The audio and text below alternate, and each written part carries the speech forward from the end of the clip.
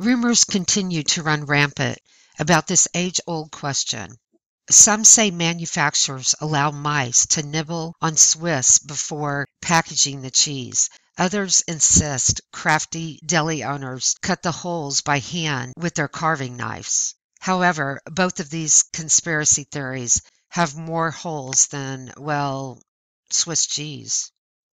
Truth be told, and it's a bit embarrassing, but Swiss cheese has holes because it has bad gas.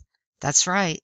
Those holes in your sweet, nutty Swiss are actually popped bubbles of carbon dioxide gas. So where do these gassy bubbles come from? Well, all cheese begins with a combination of milk and starter bacteria. Yuck. The type of bacteria used helps determine the flavor, aroma, and texture of the finished cheese product. In this case of Swiss, cheesemakers use a special strain of bacteria called Propionibacter shermanii.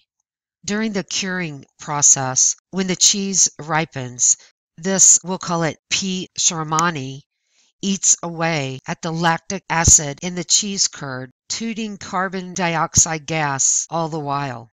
Swiss cheese is a densely packed variety with a thick, heavy rind, so this built-up gas has nowhere to go.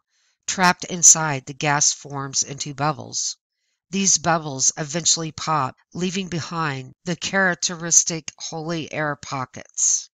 In formal cheese lingo, these holes are referred to as eyes, and the art of cheese making is such that their sizes can be controlled. By adjusting acidity, temperature, and curing time, dairies can create a mild baby Lorraine Swiss with lacy-looking pinholes or a more assertive Emmentaler Swiss with eyes the size of walnuts. Oddly, in the United States, the size of Swiss cheese holes is subject to United States Department of Agriculture.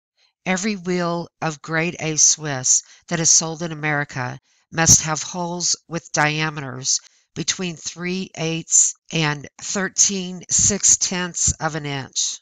All of this goes to show that sometimes it's best not to overthink your cheese.